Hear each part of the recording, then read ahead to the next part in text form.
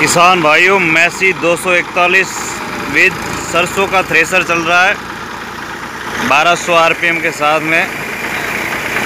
देखिए, सरसों निकल रही है, बहुत ही बढ़िया तरीके से। मैसी में पीटीओ पावर 540 के हिसाब से थ्रेसर बहुत बढ़िया चल रहा है। 1200 आरपीएम के साथ में सरसों निकल रही है, सरसों।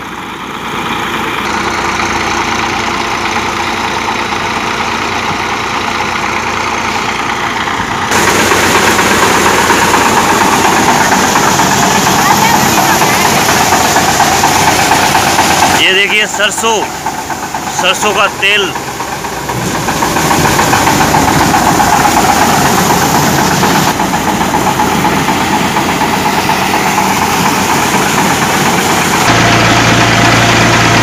ये आप देख सकते हैं 1100 1200 आरपीएम के साथ में।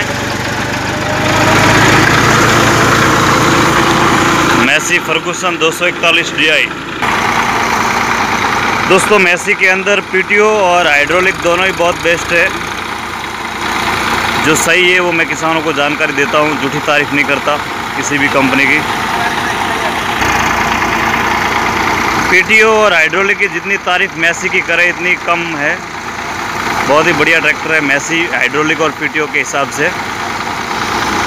दोस्तों, वीडियो पसंद आए तो लाइक करें शेयर करें और भाई के चैनल को सब्सक्राइब ज़रूर करें। यहाँ पर किसानों से जुड़ी सही खबर मिलती रहेगी। धन्यवाद। जय जवान, जय किसान।